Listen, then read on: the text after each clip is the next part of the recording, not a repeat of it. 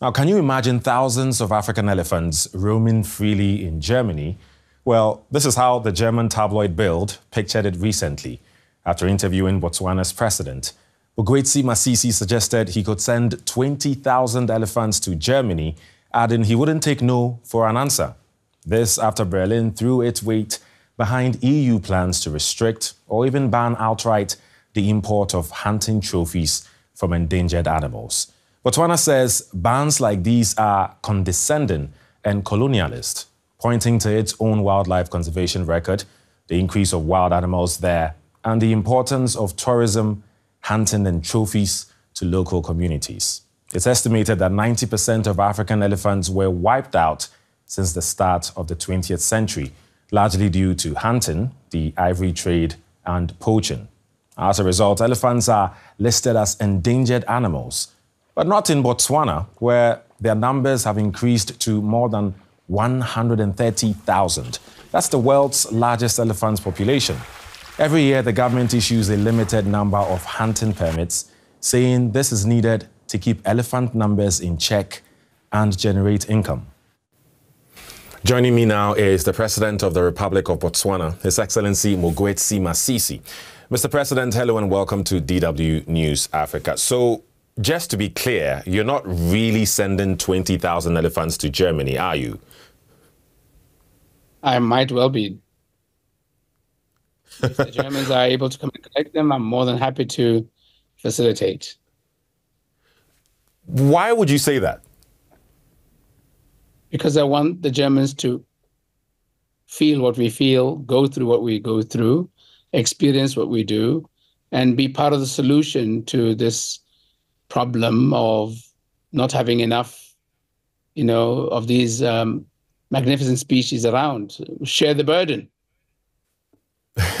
what exactly are the sacrifices uh, Botswana is going through to keep those elephants? Well, we are the only country in the world that has uh, set aside 40% of our land mass for conservation. That's a massive sacrifice. If you can just think of the opportunity cost of what you know, that it would be in terms of what other activities could be undertaken on that landmass. Um, it should show you what a sacrifice it is.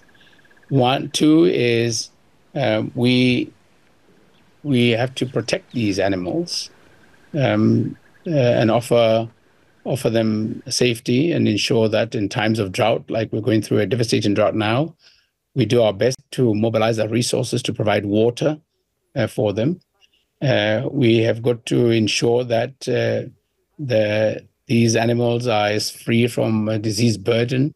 So uh, we also have got to make sure that um, mm. these uh, animals are enjoyed comfortably and safely by our tourists.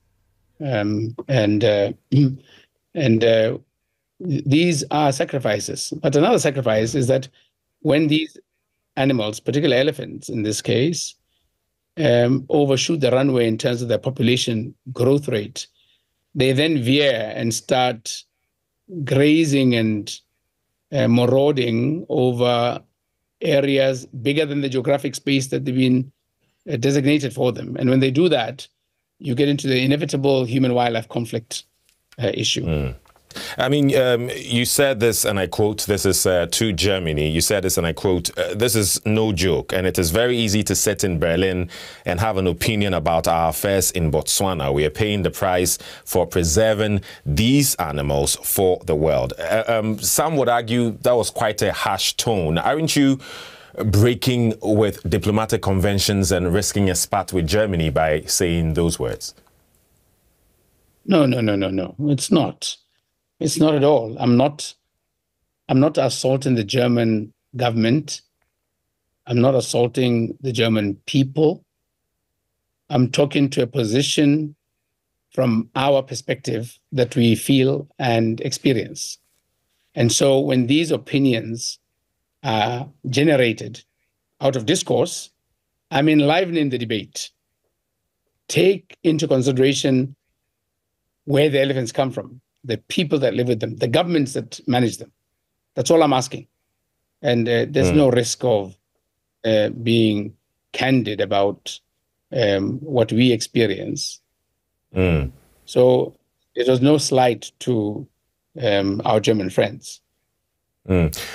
What or how would you rather have wanted Germany to approach this matter? Because it seems to be clear that you're saying that Germany doesn't really have a deep idea about the challenges you're facing with the elephants, and, and it's just sort of speaking, so to speak, out of no experience. How would you want them to deal with this? Well, to get themselves more informed. I mean, even our the, the local German ambassador here uh, was quite uh, um, uh, uh, honest in in admitting that and saying that uh, sometimes these positions are held by people who don't know enough about what we go through. Because she lives here, um, not necessarily among the elephants, but she lives in Botswana. She knows what it is. So I don't think uh, there's been sufficient energy expended on understanding um, mm. the circumstance that we come from and we live mm. in. Germany's position can be argued that they were warning about limiting the import of hunting trophies even further to try to protect the elephants. Once upon a time, Botswana, you know, elephants were quite endangered due to successful conservation efforts. Now, one can argue you have more than enough. Um, so, what is the way forward? Are you not concerned that somehow encouraging hunting is going to you know, reduce the elephants' uh, population and bring them back to an endangered species in Botswana? We're not talking about one-time hunting. And besides, who is anybody to come and tell us how to manage them and manage the hunting when we've been so successful at their conservation, particularly when those who want to prescribe this have no elephants to show. Where are their elephants? And what do they do with the species that they also hunt? How do they manage species that cause them challenges? And what are the numbers that they take out a year? So we, we're asking for consistency and logic. What help then do you need from Germany, the international community, you know, to help Botswana with its elephant overpopulation? I want them to understand the problem any way you want to offer a solution, you begin by first understanding the problem, right? And then part of the understanding the problem is hold a logical conversation with the people. You know, I don't think this is so much really about logic more than it is about emotions. But we also need to make sure that our emotions do not undermine our thinking in terms of solutions that we prescribe and there's consistency in the way we pronounce to the way we act ourselves. And if that's a position to be held, i.e., ban trophy hunting and no importation of such trophies, what do you do with the problem because it can only grow in Botswana? Or how do you advise us? Because you've advised us to keep them and not hunt them, how do you advise that we thrive as they thrive? Mm. Mm. So I think it would be nice um, to share with us a bit of your plan. What is Botswana's plan? Because you need a sustainable solution, right? What What is that plan that you could even get help from Germany and the international community? Well, you know, stop this uh, trade uh, barrier and and, uh, and stop uh, this uh, um, uh, complex de facto sanctioning of our product. Stop it. Uh, that would be a big help. And two, engage in meaningful conversation uh, with ourselves and educate your public about what to do. And um, and this this would really help. But you know, mm. we can also get into research and development because we are keen to pivot to a knowledge-based economy. And part of the research and development to deal with this problem, maybe to find a means by which we can, you know, mitigate the population growth uh, in a non-invasive, non-intrusive, non-lethal mm. uh, mean way. So if um, Botswana wanted to, um, based on some of the challenges that you mentioned, is, it actually feasible? I'm asking this because a lot of people may be uh, wondering if Botswana has so much of the elephants, obviously moving them to Germany is not really going to be feasible or possible, and I'm sure you know that. But what about neighboring African countries? Is there a way to somehow spread them across some countries to, to help lessen the, the burden or the pressure on Botswana? That's the most preferred thing to do, to help them spread in the region. That's why we created KAZA. But look, if you hold the opinion that is so detrimental to us, I don't think it's impossible to move them to Germany. Come on. If Germany had wanted these very badly, what has Germany not been able to move to Germany? You tell me. There are so many very heavy, bulky things that have been moved. Why could these not be? It all depends on how you value them, right? So don't say impossible, because we live in a, a world where we want to eliminate impossible and make it possible or think it possible. okay. So just to be clear, Germany said today that, well, we actually need a couple of elephants who will help uh, get it here. You'll be very happy with that. Not a couple, a few thousands, a couple of thousands at the least. Right? We're more than ready. Right. My communities are ready. I've been conversing with them. They're all raising their hands. Come and get some from us. Come and get some from us. But you know, okay. one thing we mustn't lose sight of, you know, uh, I'm African and we're in Africa. This is a resource. It's a natural resource, an endowment. It's heritage. Mm. It's got value. It's not as if I want to wantonly give away a resource. I'm trying to get people to focus on what is a, a, a massive problem for us. Right. Right.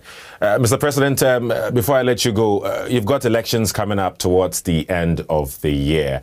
Uh, what's your most pressing issue and what do you wish to achieve? Of course, uh, aside trying to get yourself re-elected. My most pressing, well, the, the motive is not driven so much by getting myself as a person re-elected. It's getting my party re-elected. That's what's really pressing because it is the bearer, in my view, of policies that are most promising for Botswana. But one of the biggest problems and challenges that we have, and it cuts across parties, is, is employment. Uh, we have, uh, you know, a youth dividend. We have a 60% of our population are young people. Uh, we've educated them. We've kept them healthy relatively. Um, and uh, they're very aspirational. Uh, they're energized. And it's a structure of the economy, the opportunities in the economy. That's what we need to really open up. And that's why when you um, look at the number of jobs generated by photographic exclusively, even in areas where photographic hunting is not suitable. So, sorry, photographic tourism is not suitable. Um, when you look at the opportunities of jobs for jobs in in in uh, controlled hunting spaces, there, there, are many more. Particularly when you put in place industries and uh, of various kinds that would mm. enhance the value, and you develop value chains uh, following hunting. Um, you know, and that's what we need uh, uh, help with. And that is a, a major uh, priority for me. Um, we'll always have priorities of water because we are in a drought-prone area of, of Southern Africa. Um, mm. And but jobs jobs are, are really important. Um, right. So right. we go to the elections uh, as is customary in October, and uh, the, the, the, the, there's nothing unusual in Botswana. Uh, we will have an election. We will have a count. We'll have a declaration of a winner. There will be a swearing in, and Botswana continues. Uh, the elephant story remains. Mm. And and moving forward, how would you want your relationship with, with Germany and in, and indeed other countries uh, to be like? If, you know, looking at the current sort of back and forth between Botswana and Germany, for instance. Our relationship with Germany is not defined by elephants. Make get that clear. We have very strong bilateral relations, very strong diplomatic relations that uh, you know uh, uh, are focused, uh, uh, premised on uh, on mutual benefit and reciprocity. And so we'd want them to grow, but we want to grow as these relations grow. In the same way as we want to grow Germany, because a strong, stable, powerful Germany is a strong, stable, powerful Botswana. But we want uh, to start riveting towards uh, a near balance in in, in the global uh, world order. and so, um, how can it be safe for us when some parts of the world are excruciatingly poor and some parts of the world are excruciatingly rich and, and powerful? It's certainly not safe. So we want that to be understood, embraced, accepted by Germans as we want by everybody else. So what we want for ourselves is what we want for the Germans. And we wish the Germans what they want for themselves is what they want for us. His Excellency Mokgweetsi Masisi, President of the Republic of Botswana, thank you very much for your time. Thank you. Have a good day.